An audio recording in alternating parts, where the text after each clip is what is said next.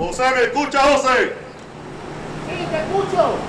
Yo no voy a dejar salir a ella, ella me fue infiel, eh, este, así que yo la voy a dejar aquí con ella, no la voy a dejar salir.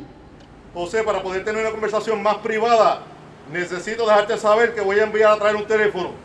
Mira, la, la primera etapa que viste que el negociador llega con un alto parlante, se conoce un face to face, es una de las, de las formas menos indicadas porque es un poco más peligrosa, pero en Puerto Rico se da un fenómeno.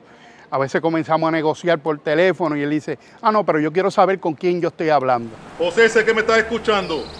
Una vez esté el teléfono en la puerta, se te va a tocar para que entonces puedas tomarlo. Luego pasamos a una etapa de una comunicación por teléfono, que es lo más frecuente, que hablemos por teléfono, hasta que llegamos las descaladas del evento y la persona decide rendirse, salir y estamos preparados. José, ella, ¿tú la agrediste? No, en ningún momento.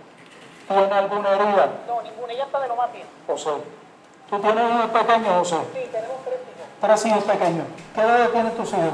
Uno tiene 12, uno tiene 9 y el otro tiene 7. Los tres son varones. ¿Dónde están en estos momentos, José? Ellos están en la escuela, ya los llevo esta mañana. Sí, mira, la característica principal es que tenga empatía por el, por el prójimo. Ese sentido de servicio a las personas, a darse todo por, el- por ese ser humano. Ese- esa es la característica, por lo menos el equipo que hacemos, buscamos en, en las personas que traemos como negociadores. Ok, José, mira, vamos a hacer una cosa. Como tú me has hablado muy bien de María, y yo sé que tú la amas, y que todas las cosas siempre han sido buenas entre ustedes, ¿por qué no le damos la oportunidad para que ella salga?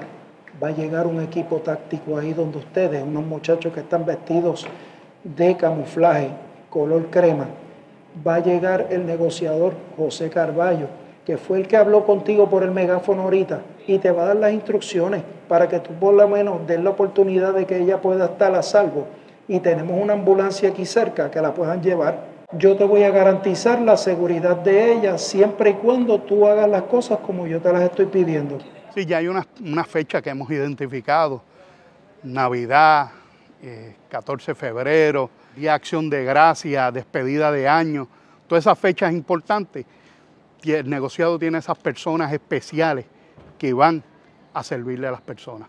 De haber un escenario perfecto no existe, siempre hay un problema, pero estamos preparados para cualquier escenario que surja de dar lo mejor de nosotros mismos para solucionar la situación.